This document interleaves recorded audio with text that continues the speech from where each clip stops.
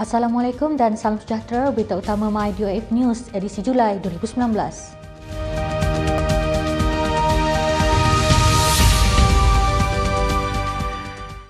Pada 20 Julai yang lalu, berlangsungnya sambutan Jubli Perak 25 tahun Taman Laut Malaysia di Pusat Taman Laut bersempena dengan Hari Bertemu Pelanggan di Pulau Tioman, Pahang.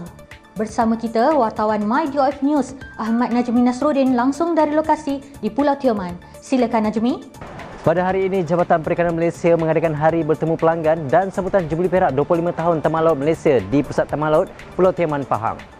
Sambutan kali ini dirasmikan oleh Yang Berbahagia Datuk Muhammad Saludin Hassan, Ketua Setiausaha Kementerian Pertanian dan Industri Asas Tani bersama Ketua Pengarah Perikanan Malaysia Datuk Munir Muhammad Nawi. Tujuan sambutan kali ini merupakan hasrat kementerian untuk menjadikan pengurusan perikanan dan agropelancongan sebagai satu sumber pendapatan ekonomi setempat dan memberi impak ekonomi yang besar kepada daerah Rompin dan negeri Pahang secara amnya. Oleh itu, pembangunan ekopelancongan di Pulau Tioman juga sejajar di mana ia memiliki kepadatan penduduk lebih dari 3,500 orang dan sebanyak 250,000 pelancong yang datang ke Taman Laut Pulau Tioman. Untuk makluman semua, Taman Laut Pulau Tioman merupakan satu-satunya pulau yang menerima pengiktirafan sebagai kawasan pelindungan Marine MPA kategori tahap 4 Flagship Regional Sites dan ia merupakan tahap tertinggi dalam penilaian tersebut. Pengiktirafan ini telah meletakkan Pulau Tioman sebagai taman laut yang setanding dengan taman laut negara ASEAN yang lain. Sebelum saya akhiri laporan saya, Ingat, laut bukan tong sampah. Sama-samalah kita menjaga taman laut dan sumber marin agar ia dapat dirasai oleh generasi akan datang. Saya Mat Azmi Nasruddin melaporkan untuk MyDM News. Assalamualaikum dan salam hormat. Duli Yang Maha Mulia Sultan Johor, Sultan Ibrahim Sultan Iskandar berkenan mengunjungi pusat pembenihan ikan kelah biru di Kampung Air Merah Mersing bersempena dengan Kembara Mahkota Johor 2019 pada 21 Julai yang lalu.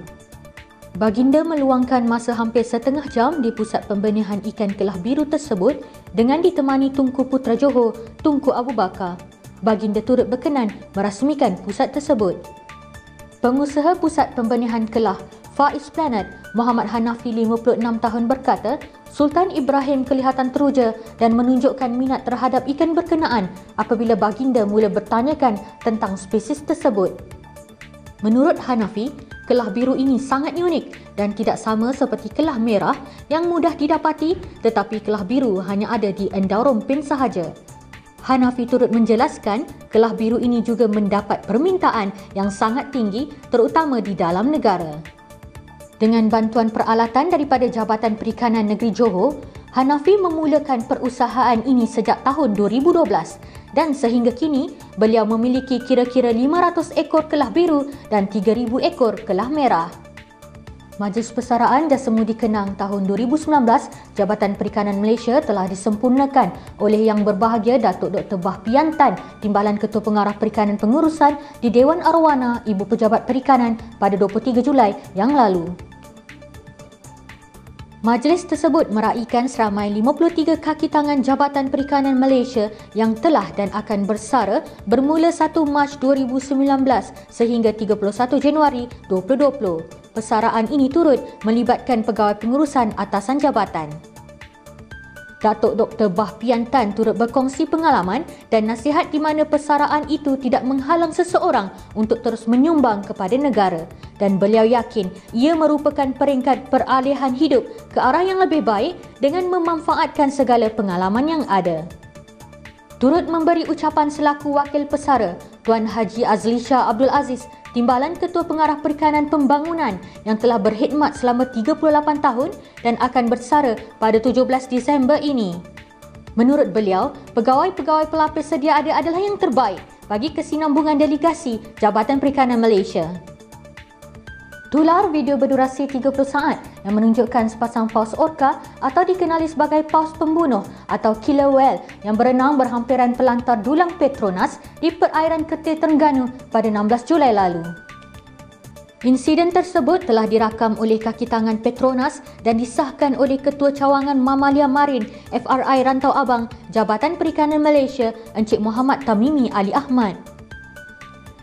Menurut Tamimi, kedua-dua mamalia marin tersebut adalah sepasang jantan dan betina bersaiz 6 hingga 8 meter, anggaran berat 5,000 hingga 6,000 kilogram yang menjadikan Laut Cina Selatan sebagai sebahagian laluan migrasi mereka. Menurut rekod yang terdapat di FRI Rantau Abang, paus pembunuh ini tidak pernah melalui perairan Tengganu dan ini merupakan rekod pertama kali ia muncul di perairan ini. Paus orca adalah salah satu spesies yang tersenarai dalam jadual mamalia marin terancam di Malaysia. Jabatan Perikanan Negeri Pahang merekodkan sebanyak 11 kes kematian penyu jenis agar sepanjang tempoh 6 bulan pada tahun ini. Pengarahnya, Datuk Azhari Osman berkata, punca utama kepada kematian penyu agar itu disebabkan tersangkut pada pukat dan mengalami masalah usus yang berpunca daripada termakan sisa sampah terutamanya plastik.